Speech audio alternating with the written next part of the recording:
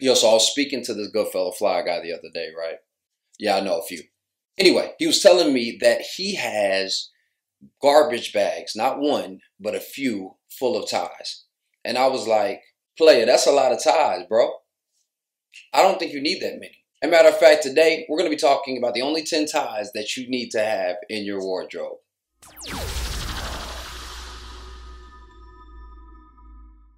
What's up, all you good fellow fly guys? You know who it is, the Cat in the Hatch resident fly guy, your chief architect, Michael Andrew of StyleArchitects.com, here to help you redesign your frame of mind when it comes to this lifestyle thing. And today, we're going to be talking about 10 ties that you should know about. Now, I always hear people saying that these are the 10 ties that you every guy should have, or these are the 10 ties that you need to buy.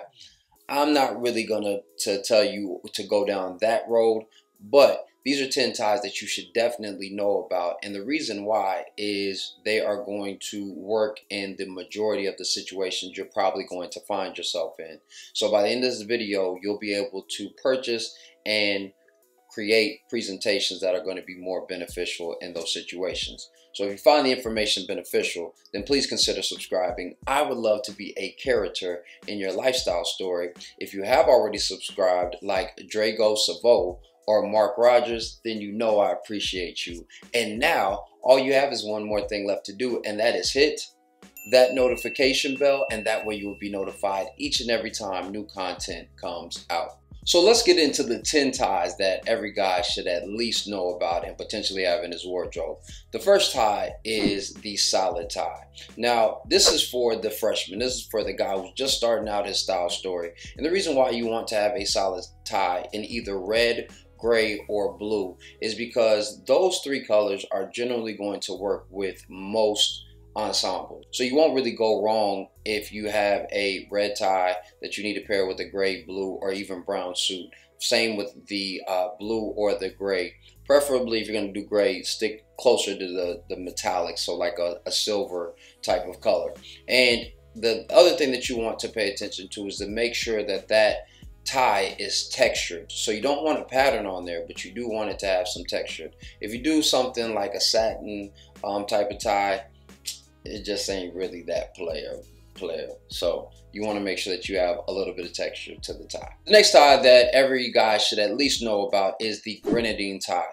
Now I'm not gonna lie, uh, I've only known really about the grenadine tie for about five or six years. So you're always learning something new. But the grenadine tie is not the syrup that you're pouring into cocktails. Grenadine is actually a way of weaving the tie that allows for it to be a little bit more porous and thus will create a little bit more ventilation. So it's perfect for the spring and summertime if you do a silk one because it will allow for ventilation, but you can still have a wool grenadine tie for the fall and the winter and it will um, just have some character uh, that will allow for you to kind of make that a talking piece when you are wearing it. Now, the thing that I like about grenadine ties is that they are simplistic in their expression, but they're very complex when you start talking about the details of their construction and the way that it wears. So it's definitely a conservative conversation piece in the second tie that you should know about.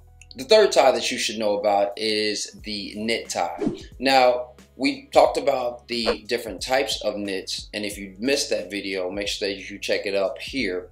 But the knit tie is the perfect way to create some character in very subtle ways. Generally speaking, knit ties are either going to be striped or they're just going to have a very subtle woven pattern from uh, the way that it was woven. And these things are going to create character while still remaining, again, conservative for you so that you can continue to pair these in different looks and in different modes. Now, in most cases, the knit tie is going to lean itself to more casual wear, but even if you do want to dress it up in a semi-formal type of fashion, it's still not going to look crazy and will ensure that you look professional um, in those spaces. All right, so now that we've gotten those basic beginner ties out of the way, right? These are all the ties that you can use pretty interchangeably. Now we can start having a little bit of fun with some different patterns. And the first tie that you should know about when it comes to adding this to your wardrobe is the foulard tie. Now the foulard is just a fancy French word for repeating patterns. And that's the only thing that you really need to know about a foulard tie. So they're generally going to be smaller designs that are going to be sequentially repetitious in the tie. The reason why I like this is because this is a very cool way for you to pull out different types of colors or proportions in that tie to add sophistication to a look. So if you have pink, blue, and brown in the foulard, then you can pull that out and have a brown suit, pink shirt, blue tie, and then maybe have the same repetition in your socks. So it creates a bit of sophistication without being too outlandish or too difficult for you to try to put together. The next tie that you should have in your wardrobe is the striped rep tie. Now these can generally be broken down into two categories, either a university or a regimental stripe. So of course if you went to an Ivy League school and you want to promote those colors, this is a great way for you to still show uniformity um, or homage to your alma mater or if you were in the military, um, in the Navy, the Army, or the Air Force, this is a great way for you to show that camaraderie with your fellow vets when you are out in public domain. Now, if you weren't in either one of those, that's still okay. But what I recommend is finding your favorite colors and then adding that to the tie that you're looking for. But the bigger thing here is for you to have the awareness of what it actually represents. And that way you can show the proper respect that it is due. The next tie that you guys should know about and potentially have in your collection is the polka dot tie. Now, everybody knows that a nice little polka dot tie is going to have classic elements and you really can't go wrong with any color type of polka dot tie. But what I have noticed is that a lot of guys get nervous when we start talking about the size of that dot. And the reason being is because if it gets too oversized, it can become overwhelming for the tie and potentially the look. And so a lot of guys are afraid to play with those proportions. But I would challenge you to because if you get a polka dot that's slightly larger than the average polka dot, then what you've done immediately is added some charm and some character to your overall ensemble. The next tie that I would recommend every guy at least knows about is the houndstooth or the puppy tooth tie. The reason why I love the houndstooth or puppy tooth tie, and a puppy tooth is nothing more than a smaller version of the houndstooth, is because it actually is very, very subtle in a lot of its expression, but it still will offer a unique conversation starter when you're wearing it. Just consider this. If you have a nice houndstooth uh, tie on, most people can't tell that it's a houndstooth until they're probably about 15 to 20 feet away. And so outside of that, it looks very conservative. But as you get closer, it starts to add some nuance to your presentation. And that's great for the guy who wants to be a little subtle or wants to be a little seductive because it's showing that you have layers to your style language. The next tie that every guy should know about is the paisley tie.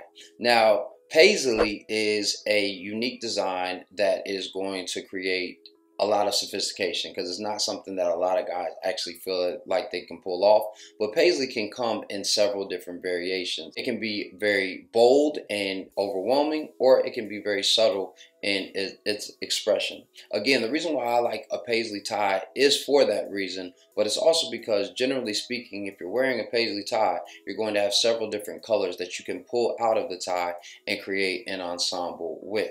And it just speaks to your level of sophistication and ability to be subtly bold in sartorial spaces. Now the next tie every guy should know about is the Glen check tie. Now, the reason why I like the Glen check tie is because it's kind of one of those things where you can throw it on, and because of its pattern and the way that it is structured, it'll kind of make sure that you're checking yourself. And when some people get out of line, you can check them too, you know, with a nice little check. Uh, but the reason why it's so cool is because it actually has a little bit of nuance that's associated with the Glen check type of suit that we often see. So I've seen guys throw on a Glen check suit with a Glen check tie, and it seems like it should be wrong, but it looks so right. And it just speaks to the uh, level of creativity and conservatism that can be created with a tie. The last tie that every guy should know about is the club or novelty tie. No, I'm not talking about the club, club, you know, we're not talking about that club. We're talking about the Ivy Club. We're talking about the Polo Club. We're talking about the uh, Rowing Club, right? Or what they call crew, um, the crew clubs. And so all of these different types of clubs are often going to be associated with a fraternity or some sort of order that speaks to exclusivity. And that's not uh, a tie that you're probably going to have access to. However, if you are in a space where you just want to do something that has a little bit of novelty, then you can still find that stripe, uh, the rep stripe that we are talking about with a insignia or a mascot on it. And Polo did a great job of creating this um, in the 90s and the early 2000s. But I love that conversation piece because it's a great spectator or sporty type of tie if you still need to be formal. Now, if you don't want to go that route, then you can definitely go the novelty route, which you've seen Hermes really make a namesake for itself in this space. But the novelty doesn't have to be whales or small, repetitious, foulard like type ties. They can be something as subtle as the beautiful tie that I'm wearing right now which is a floral print, but still has a bit of novelty to it. So don't think that it has to be something corny or cheeky that you are wearing. It can easily be sophisticated and cool and still a little novel all at the same time. So that is it. Those are the 10 ties every guy should at the very least know about and potentially should have in their repertoire. So I'm gonna make sure I tell my homie that he can throw the rest of those bags away once he has those core wardrobes. Or maybe he can sell them. I don't know. But before we get out of here, I want you to answer this question of the day. If you didn't think all those ties needed to be in your wardrobe, tell me what your top three were and why how you would utilize those out in different sartorial spaces. I would love to hear those stories, and I'm sure that the guys in the community could build their style statements up as well. Make sure that you give this a thumbs up if you found the information beneficial, and share it with a friend. You never know.